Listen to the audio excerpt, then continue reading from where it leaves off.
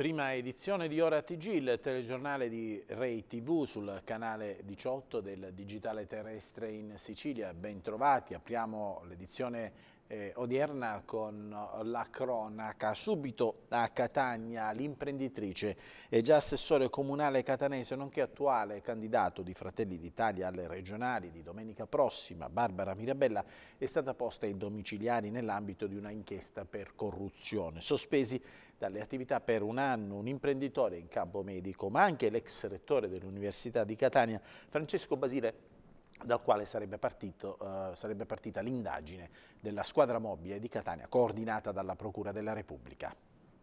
L'ex assessore di Catania ai grandi eventi alla pubblica istruzione della giunta pogliese e candidata alle regionali per Fratelli d'Italia, l'imprenditrice Barbara Mirabella, è finita questa mattina agli arresti domiciliari nell'ambito di un'inchiesta della squadra mobile di Catania coordinata dalla Procura della Repubblica per corruzione, in quanto, secondo l'accusa, attraverso la sua società sarebbe stata destinataria di una somma di 10.000 euro per favorire l'apparato organizzativo di un congresso medico a Catania della società Società Italiana di Chirurgia. Destinatari di provvedimento interdittivo il professore Francesco Basile, già rettore dell'Università di Catania, nonché presidente della SIC e direttore dell'unità operativa complessa di chirurgia toracica del Policlinico Rodolico San Marco di Catania. Quindi per l'imprenditore nel campo medico Giovanni Trovato, per entrambi è stata disposta la sospensione dall'attività per un anno. La procura avrebbe acquisito elementi su Basile aprendo due filoni di indagine e la società New Congress che ha organizzato l'evento evento tenutosi a Catania nel settembre del 2021. Secondo l'accusa, i rapporti sarebbero andati oltre l'istituzionale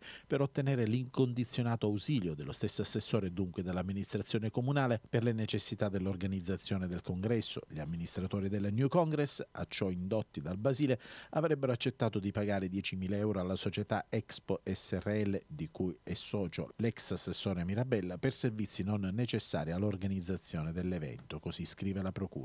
Due filoni di indagine si diceva perché sarebbero emerse anche con condotte concussive poste in essere dal Basile nei confronti dei rappresentanti di due aziende farmaceutiche per ottenere contributi per il finanziamento del congresso mediante esplicite minacce della sospensione da parte del Policlinico in caso contrario degli acquisti dei prodotti di cui le due aziende erano fornitrici. E ancora l'amministratore delegato dell'azienda farmaceutica Medical T SPA Giovanni Trovato avrebbe consegnato un contributo di 5.000 euro per ottenere, grazie all'intervento del Basile, l'incremento dell'acquisto di dispositivi della propria azienda da parte del Policlinico. Basile è accusato di falso, corruzione, concussione, trovato di corruzione. Dalle indagini emergerebbe infine come Basile avrebbe consentito a due medici in quiescenza di continuare a utilizzare per i propri pazienti gli ambulatori e le sale operatorie del Policlinico di cui avevano avuto la disponibilità ma fino a quando erano in servizio, interventi inseriti nel programma operatorio ufficiale ma eseguiti dai medici in pensione che non comparivano nelle cartelle cliniche dove invece figurerebbero le firme di medici compiacenti. L'avvocato dell'ex assessore Barbara Mirabella, Enrico Trantino, eh, afferma adesso stiamo completando l'acquisizione degli atti e valuteremo eh, il ricorso al riesame contro la misura, al Tribunale del riesame contro la misura cautelare che afferma l'avvocato Trantino appare eh, sproporzionata, non mi limito poi a, um, a dire altro eh, se non che constatare la coincidenza che ci troviamo a tre giorni esatti dalle elezioni, questo l'avvocato Trantino legale, di Barbara eh, Mirabella. Rimaniamo in cronaca ma eh, cambiamo eh, pagina, andiamo a Giar dove la scorsa notte un bambino di 10 anni in via Aldo Moro è stato arrotato, travolto da uno scooter, vedete il luogo in cui si è verificato oh, l'incidente, eh, nottetempo. Lo scooter invece però che fermarsi, secondo alcune eh, testimonianze, avrebbe poi proseguito la marcia con alla guida un giovane che dunque eh, non si è fermato per prestare soccorso ma eh, che quindi sarebbe fuggito. Eh, c'erano alcuni passanti che hanno immediatamente allertato il 118, ha condotto prima il ragazzino al pronto soccorso dell'ospedale Sant'Isidoro, poi trasferito all'ospedale Garibaldi Nesima di Catania per diverse ferite lacero contuse, fratture ma anche un po' di trauma, non in pericolo di vita, ma le condizioni del ragazzino sono gravi sul posto si sono recati i carabinieri della compagnia di Giarre e del eh, nucleo radiomobile che hanno avviato i, i rilievi eh, del caso. Eh, si stanno anche visionando le telecamere che sono posizionate nei pressi del viale Aldo Moro eh, per dare un volto e un nome al eh, giovane scooterista che sarebbe appunto, secondo le testimonianze, responsabile eh, di questo sinistro eh, stradale che poi sarebbe fuggito, dicevamo fatto accaduto ieri sera in viale Aldo Moro a Giarre. Da Giarre, dunque dalla Catanese, andiamo invece nel Palermitano per una operazione della Guardia di Finanza. Nel bagagliaio dell'autovettura sulla quale viaggiava i finanzieri infatti hanno scoperto cocaina per 2 milioni e mezzo di euro. Un automobilista è stato fermato, tutto ciò si deve al fiuto di un cane della Guardia di Finanza. È stato il fiuto del cane antidroga Mia, che fa parte del gruppo pronto impiego della Guardia di Finanza di Palermo, a mandare in fumo i piani di un corriere della droga che a bordo di un'autovettura stava trasferendo il carico nella zona del Palermitano. L'uomo è stato fermato da una pattuglia della Guardia di Finanza nell'ambito dei servizi di controllo economico del territorio. Siamo nei pressi dello svincolo autostradale di Buonfornello in direzione Palermo. Il conducente ferma l'autovettura nella speranza che si tratti solo di un normale controllo di routine. Patente, documenti, carta di circolazione, la revisione. Ma qui entra in scena anche il cane Mia, che da subito punta quell'autovettura. Il conducente si insospettisce, comincia a diventare nervoso e questo è un segnale per i finanzieri che decidono di aprire il bagagliaio, dove, abilmente occultati, scopriranno ben 33 panetti di cocaina, valore sul mercato oltre 2 milioni e mezzo di euro. Il Corriere, di nazionalità italiana, è stato tratto in arresto in flagranza di reato e condotto presso la casa circondariale Pagliarelli di Palermo. L'operazione, che è stata resa nota oggi, ma che in realtà si è svolta il 14 settembre, ha segnato un nuovo duro colpo contro le organizzazioni malavitose dedite allo spaccio di sostanza stupefacente, in questo caso cocaina, nel Palermitano, nella costa tirenica e quella trapanese. I carabinieri di Paternò, con il supporto del dodicesimo reggimento di trasportato, hanno eseguito un'attività di controllo nei luoghi della movida di eh, Paternò. Appunto, le operazioni si sono svolte nei luoghi di maggiore aggregazione dei giovani come ad esempio eh, Piazza Santa Barbara e Via delle Rose. Cinque ragazzi paternesi sono stati segnalati alla prefettura per possesso di marijuana, sono stati recuperati 49 grammi della stessa sostanza ben nascosti in un terreno in contrada Scalilli, in altri eh, poi tre esercizi commerciali, i carabinieri sono intervenuti per controlli facendo rispettare l'orario di chiusura previsto dalle ordinanze eh, sindacali. Sempre i carabinieri, ma stavolta andiamo a Siracusa, i carabinieri di Siracusa e del NAS eh, sono intervenuti in un noto ristorante del capoluogo Aretuseo, eh, chiudendo lo stesso ristorante per scarsa igiene in quanto sono state riscontrate violazioni in materia di igiene e sanità eh, nelle cucine, eh, così violando il pacchetto igiene eh, a cui bisogna attenersi, di fatto che prevede le regole per come eh, preparare gli alimenti destinati alla successiva somministrazione agli avventori. Al titolare dell'attività commerciale sono state contestate sanzioni amministrative per un ammontare di circa 4.000 euro. Due scosse di terremoto la scorsa notte nell'area etnea tra Ragalna e Paternò. Si tratta di casi fortunatamente isolati che non sono stati avvertiti dalla maggior parte dei residenti, episodi legati alla tettonica del territorio, spiegano dall'Istituto Nazionale di Geofisica e Vulcanologia di Catania. Il primo evento sismico poco prima di mezzanotte a 2 km da Ragalna, qui ad una profondità di 2,9 km, la scossa di magnitudo 2.5. Qualche ora dopo, superate le 4 del mattino, nuova energia dal terreno, stavolta però a sud di Paternò, a 2 km e 400 metri dalla città, dove una magnitudo più alta, seppur sviluppatasi più in profondità, parliamo di 9,6 km, ha fatto saltare dal letto i residenti della zona. Nostra tappa all'Istituto Nazionale di Geofisica Geofisica e Vulcanologia di Catania a spiegare quanto accaduto e la responsabile dell'unità funzionale di sismologia dell'Osservatorio Etneo Ornella Cocina. Alle 23.51 locali è stato registrato un evento di magnitudo 2,5 eh, localizzato ad una profondità di 2,9 km sotto il livello del mare. Questo è stato localizzato circa 2 km ad ovest dell'abitato di Ragalna. Eh, diciamo che eh, questo evento rientra diciamo, in quello che è il quadro geodinamico dell'area in questione, cioè dell'area di Ragalna. Non ci sono notizie di avvertibilità per questo fenomeno? Noi in sala operativa non abbiamo ricevuto notizie di avvertibilità mentre la situazione è diversa per il fenomeno sismico delle 4.21 sviluppatosi uh, molto distante da Paternò. Sì, sì, alle 4.41 locali è stato registrato questo evento, un evento isolato di magnitudo 3.6 che è stato localizzato a sud eh, dell'abitato di Paternò ad una profondità di 9.6 km. Eh, quindi l'evento è stato, allora in sala operativa non sono arrivate notizie di avvertibilità, comunque abbiamo saputo che nell'abitato, diciamo nel catanese, eh, ci sono state notizie di avvertibilità.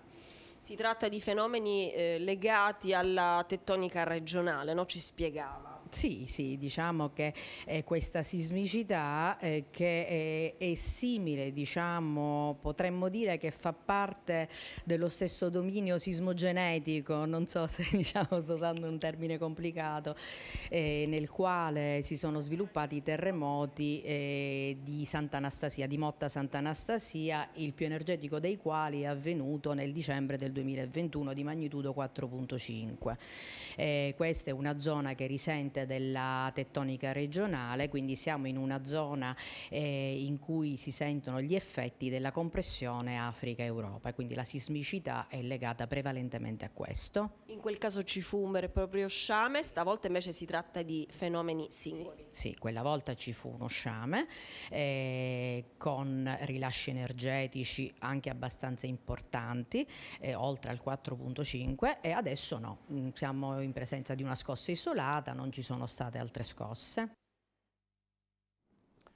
La nave di una ONG spagnola Open Arms 1 con 402 migranti a bordo è all'attracco a Messina, alla Molo Norimberga, dopo appunto che il porto di Messina è stato assegnato come porto sicuro in cui sbarcare queste persone, dicevamo 402 migranti, 286 uomini, 31 donne, 85 minori. Eh, vi è però a bordo anche un cadavere, sono in corso le indagini da parte delle forze dell'ordine per capire cosa sia accaduto. I migranti arrivano da Sudan, Siria, Eritrea, Egitto, Pakistan, Etiopia, Somalia. Le operazioni di sbarco, come al solito, sono coordinate dalla eh, prefettura di Messina a bordo 85 minori dicevamo, di cui eh, solo 5 sono non accompagnati nelle immagini, vedete una delle fasi di salvataggio della Open Arms che poi ha trasbordato a bordo questi migranti e quindi adesso eh, si trova a Messina. Parliamo adesso di trasporti, parliamo di trasporti eh, di, voli, voli di Ryanair che limita alcune eh, tratte da, da, e per la Sicilia, motivando la limitazione appunto a partire dalla eh, campagna eh, invernale, autunno-invernale, a causa degli alti costi energetici. È uno dei paradossi del tempo che stiamo vivendo. Da una parte i due principali aeroporti siciliani, Catania e Palermo, incassano numeri record superiori perfino al 2019, considerato un anno d'oro per affluenza turistica. Dall'altra la linea super prudente di Ryanair che taglia rotte nazionali ed estere e diminuisce le frequenze dei voli giornalieri. La principale low cost europea si prepara all'inverno. La decisione dei tagli è dipesa dal caro energia che faranno notevolmente notevolmente lievitare i costi. A Palermo, rispetto all'inverno scorso, saltano sei destinazioni: Siviglia, Tolosa, Lisbona, Norimberga, Francoforte e Düsseldorf. Di contro si aggiungono Dublino e Forlì. Scendono poi le frequenze giornaliere per Roma, vengono tagliate quelle del primo mattino, ne restano così 22 alla settimana. Catania invece conquista il volo con Londra, ma sparisce quello per Venezia, la tratta con Malta, una delle internazionali abitualmente frequente giornaliere anche in bassa stagione viene ridotta a tre frequenze settimanali, a subire tagli anche l'aeroporto di Trapani e quello di Comiso. La compagnia irlandese qualche giorno fa aveva annunciato l'alzamento dei prezzi con l'addio ai voli a 9,99 euro. Non sono sostenibili in questo periodo con il rincaro del carburante, così ha motivato l'amministratore delegato di Ryanair, Michael O'Leary. Non appena il kerosene costerà di meno, di conseguenza scenderà anche la tariffa media. Secondo il numero uno di Ryanair, l'estate è stata fantastica. In termini di numeri, l'Italia è cresciuta del 25% rispetto al 2019 2019. Per quanto riguarda la nostra regione, l'ultima relazione al Parlamento dell'autorità dei trasporti ha rivelato che lo scorso anno Catania-Fontanarossa è stato il primo aeroporto italiano per voli nazionali, con 4,6 milioni di passeggeri, superando di 200.000 viaggiatori Roma-Fiumicino, terzo aeroporto Milano e quarto il Falcone Borsellino di Palermo, dato chiaramente influenzato dalla ripartenza estiva dopo il lockdown. Quest'anno Quest'anno invece le posizioni della top 10 si sono ristabilite. Fontanarossa mantiene un rispettabile quinto posto a livello nazionale, Palermo è ottava. I buoni auspici ci sono tutti, non mancano però le preoccupazioni. Catania Fontanarossa punta a diventare un hub del Mediterraneo in concorrenza con lo scalo di Istanbul, almeno secondo quanto prevede il piano. Per far questo ci vogliono un po' di anni e 600 milioni di investimenti. Per lo scalo del capoluogo si profila un investimento di 300 milioni e il matrimonio con Trapani mai realizzato. Intanto però l'autunno è alle porte, l'incertezza di una variante Covid insieme insieme al caro energia preoccupa le compagnie aeree. Ancora cronaca, denunciato un 48enne catanese pregiudicato dai carabinieri di Catania per furto di un telefonino ad attivare le indagini dei militari dell'arma di Piazza Dante, la segnalazione eh, di un uh, sacrista che ha raccontato ai militari di aver visto un uomo che durante la celebrazione della funzione religiosa all'interno di una chiesa di Catania si sarebbe appunto intrufolato questa persona nella canonica che avrebbe agguantato il telefonino, è riuscito poi a far perdere le tracce, ma è stato notato, è stato denunciato, quindi segnalato e poi denunciato, rintracciato e denunciato dai carabinieri della compagnia di Piazza Dante di Catania. Sempre a Catania, oggi sopralluogo in piazza Alonso di Benedetto del commissario straordinario del Comune per verificare lo stato dei lavori di recupero e messa in sicurezza della fontana storica e della porta di Carlo V in pescheria, eh, di fatto sotto la fontana della Menano. Operai al lavoro questa mattina in piazza Alonso di Benedetto. Siamo alla pescheria di Catania, alle spalle della fontana dell'Amenano, dove è in corso l'intervento di recupero e messa in sicurezza dell'area. Nello specifico, quella della fontana dei Sette Canali e la porta di Carlo V e della sua galleria. Qui sede naturale dello storico mercato cittadino seriamente danneggiato dai fenomeni atmosferici dello scorso anno, nello stesso periodo che hanno fatto riversare un vero e proprio fiume in piena di acqua piovana proveniente da Vietnea. Il punto sullo stato dei lavori con il commissario straordinario del comune Federico Portoghese, il costo complessivo di 110.000 euro cumulati grazie alla tassa di soggiorno, ma anche attraverso un derby di beneficenza. Una riqualificazione dovuta e, e oltretutto che avviene con autofinanziamento con la tassa di soggiorno. Quindi attraverso questa posta che non inciderà sulle casse comunali si possono riqualificare tante zone. Questa della pescheria, oltretutto zona storica, è la prima fontana di Catania, no? per chi non la conosce, quindi è un po' in ritardo devo dire. Quindi è bello che i catanesi la ripetono, io sono catanese e quindi sono molto contento oggi. Ecco, lei punta sempre sulla questione del ritardo, effettivamente siamo alle porte di ottobre, il rischio di piogge di una certa entità mette un po' in allarme gli amministratori locali. È giusto, è giusto perché tutti la conosciamo il problema di Catania e oggi ho dato le disposizioni, a mezzogiorno facciamo una riunione sia per l'allerta e anche per sgombro dei tombini, no? cosa che dovrebbe avvenire sempre in modo continuo. Giusto? Ecco, da una parte la terra dell'Etna che in qualche modo in passato ha otturato i tombini, i rifiuti, i detriti, qual è la situazione attuale su Catania? Io per l'esperienza precedente quando appaltavo dei lavori lasciavo sempre alla stessa ditta nel capitolato la manutenzione ordinaria, no? così Palazzo dell'Università, no? che ha lo stesso problema di tutti, no? ma l'Etna è così. Quindi ci vuole sempre la manutenzione, sia per conservare anche lo strato diciamo, culturale dell'ambiente, perché poi la terra produce erba, no?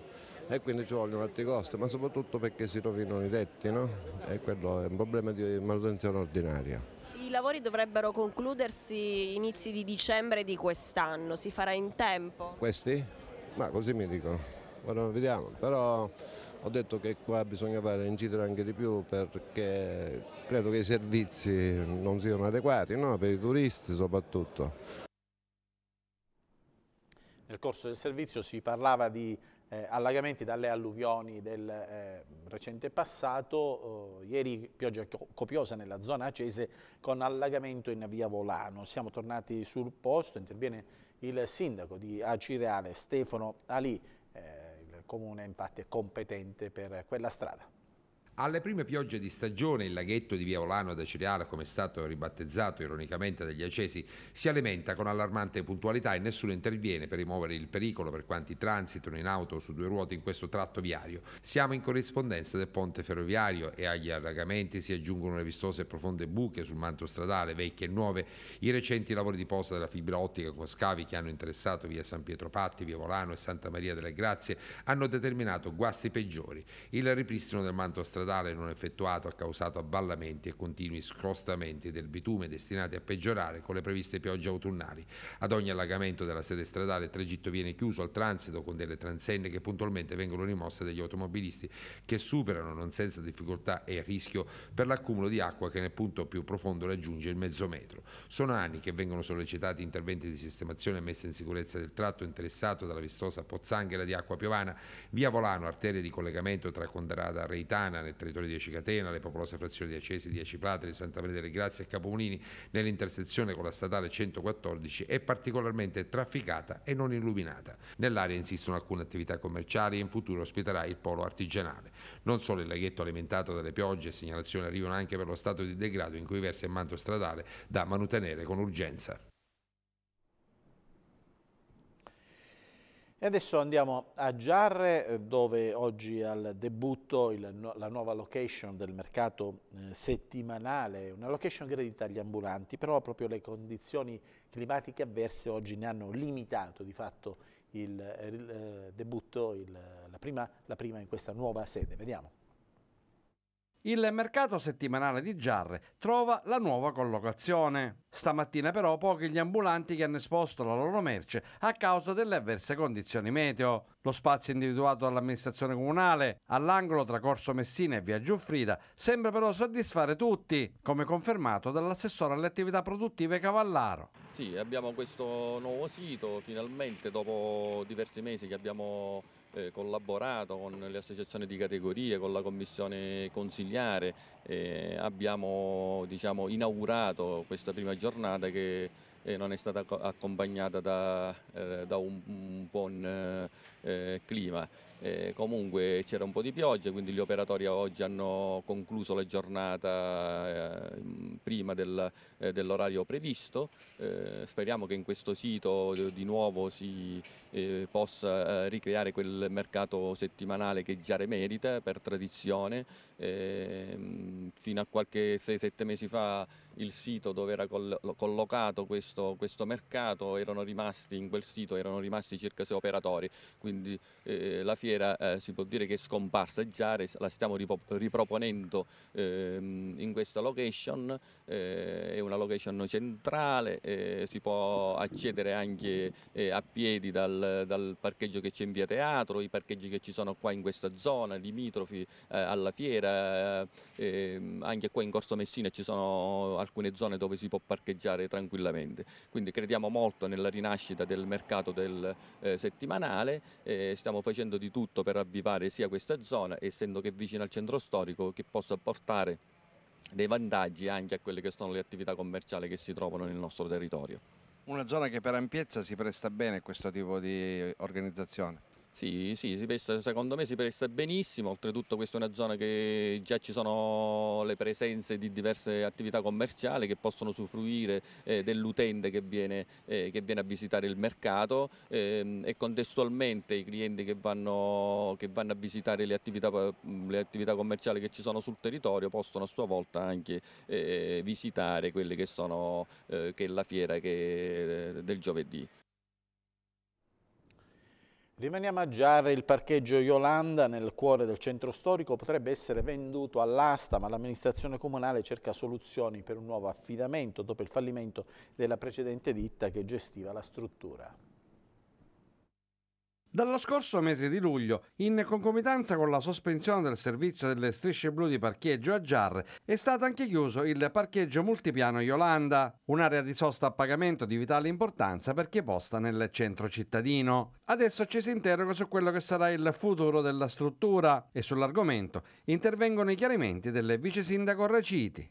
Beh, ancora siamo nella fase di risoluzione del contratto perché ce l'hanno hanno ceduto diciamo, la, la, la, l'appalto che avevano diciamo, e quindi la società vecchia. Adesso vediamo di eh, formalizzare tutto come già è previsto, dopodiché è una scelta politica a cui stiamo ragionando con calma perché chiaramente dobbiamo rifare eh, la, la gestione delle strisce blu e dobbiamo darla Uh, dobbiamo fare una gara e quindi affidarla ad un'altra società sicuramente. Dobbiamo capire se inserire questo parcheggio nella gara quindi nel pacchetto delle strisce blu oppure un utilizzo direttamente da parte del comune o un'eventuale vendita all'asta al miglior offerente, ma questo è una scelta politica che deve essere da, fatta ovviamente da tutta l'amministrazione.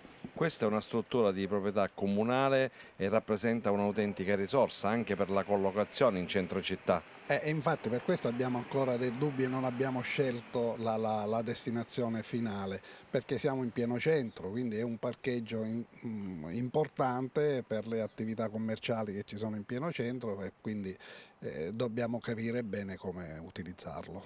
Da luglio questo parcheggio è chiuso, quali i tempi individuabili per un suo utilizzo?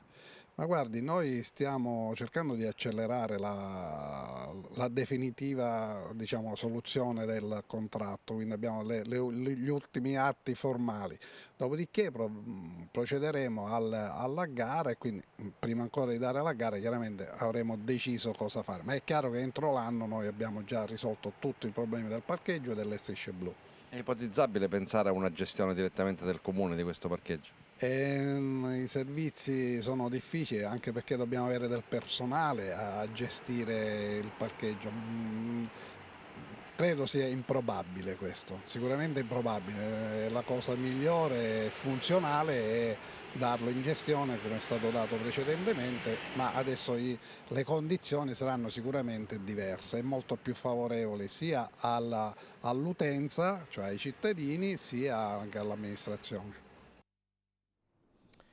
Appaltati i lavori di riqualificazione dello stadio Angelo Massimino di Catania, saranno installati nuovi seggiolini, il tabellone luminoso, ampliata l'area media. Vediamo. Tra la fine di ottobre e il prossimo mese di novembre inizieranno i lavori di riqualificazione dello stadio Angelo Massimino di Catania. L'impianto di Piazza Spedini cambierà volto a 25 anni di distanza dall'ultima ristrutturazione realizzata in occasione delle Universiadi del 1997. Conclusa la gara di evidenza pubblica sul mercato elettronico, è stato assegnato l'appalto con l'ultimo passaggio di una complessa procedura di aggiudicazione. Sarà l'impresa SCS Costruzione Edili della provincia di Catania che si è aggiudicata aggiudicata l'appalto grazie ad un ribasso del 30,69%. La somma complessiva ammonta a 6,5 milioni di euro attinta da fondi comunitari ed è frutto della rimodulazione della programmazione del patto per Catania, adesso denominato Piano per lo sviluppo e la coesione. La direzione politiche comunitarie e sport dell'ente Etneo concorderà con l'impresa appaltatrice che gli interventi di adeguamento dell'impianto, della durata di circa un anno, non comportino intralcio in occasione delle partite interne della squadra di calcio del Catania. Per l'espletazione dei lavori infatti saranno utilizzate le pause più lunghe determinate dal calendario del campionato di Serie D. Per quest'anno i calciatori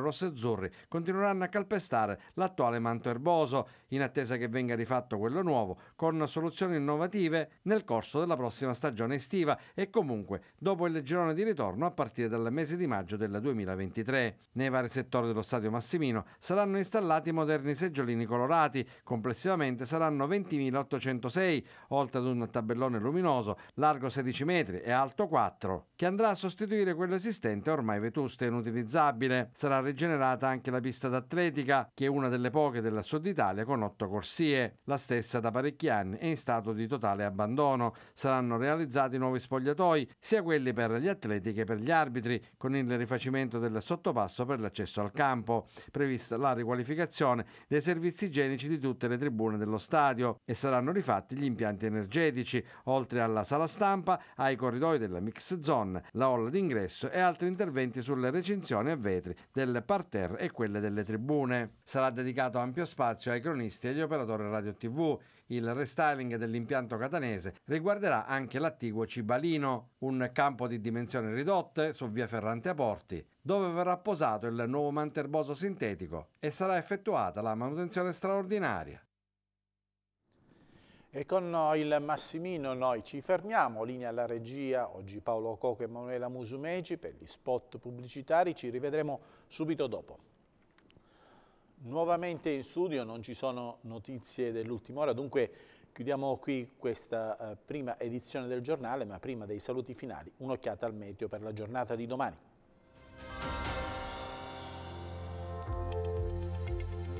Il meteo in Sicilia del 23 settembre e nell'isola cielo prevalentemente sereno o poco nuvoloso con addensamenti più probabili nel corso del pomeriggio nell'area eh, sud-orientale della regione. I venti saranno in regime di brezza, i mari poco mossi o mossi. Le temperature eh, stazionarie, sia le minime che le massime, qualche grado in meno nella parte centrale della regione. Dunque con il meteo ci salutiamo, prossimo appuntamento con l'informazione su Rai TV questa sera alle ore 19.45, grazie per essere stati con noi, buon proseguimento di pomeriggio a voi tutti.